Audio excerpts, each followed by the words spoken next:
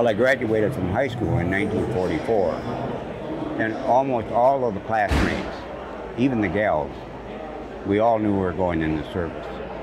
So many, many of the guys enlisted in the Navy, because if you got drafted, you would be a, just a marching soldier.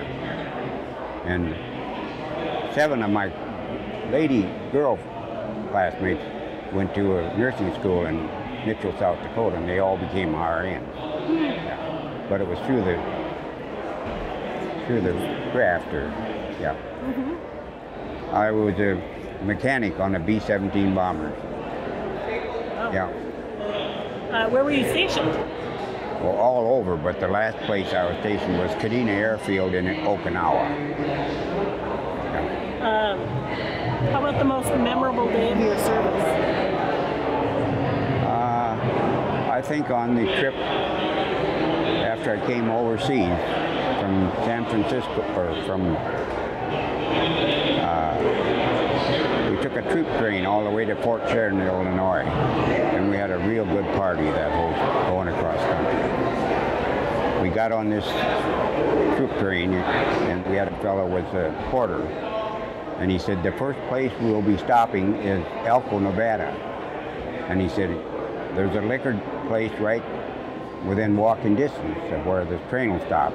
But he said, rather than all of you pile out there, get like four guys from your car to go, and they can bring the liquor back. And, which we did. And then we had a party the rest of the way, all the way to Chicago. Yeah. That was the most memorable day? That was it. Well, we knew we were close to getting out. That was going to be our discharge center.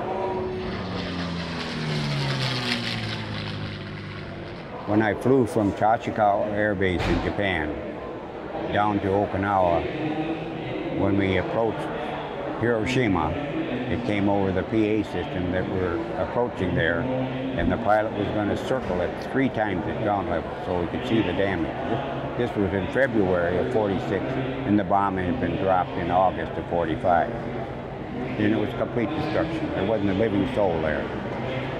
Yeah. And how far was the, their nothing? Oh, probably seven or eight mile radius. Yeah. Total destruction. And what was life like for you after the war? Well, right away I got, I got a job, on the job training with the GI Bill. Mm-hmm. And it was a two year program. And 40 years later, I was on the same job. Same building for 42 years. I sold farm equipment. Yeah. Very lucrative. Did well. Not bragging, but I did well. The only flight I had was from Tachikawa Air Base in Japan down to Okinawa to Kadena Airfield. Yeah. That's the And only. what, what was that mission? What, was, what were you, why were you flying that? I was just going. That was going to be my final base was Okay. Kadena. Gotcha. Um, how does it feel to be back in the era today? Oh, nice. I've been here before to an air show, and I've been to this place many, many times. I just live 12 miles from here. Um, so it feels. Does it feel like are some memories coming back to you just seeing some things, seeing the planes? Not too much. Not too much. No, Okay. no. I want to. I want to see if I can get my daughter here on that B-25. Oh, there you go. I've flown on it twice before, so What's that like?